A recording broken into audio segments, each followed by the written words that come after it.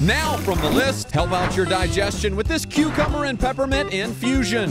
1. Chop up a quarter of an English cucumber. It's more flavorful and has less seeds than a regular one. 2. Break up a handful of mint leaves. 3. Top it off with some water. If you're looking for some spice, throw in some chopped jalapeno. It'll also boost your metabolism. It's best to infuse your water at room temperature for 1 to 2 hours, or you can do it in the fridge for 3 to 4 hours. For more lists, DIY, and life hacks, go to thelisttv.com.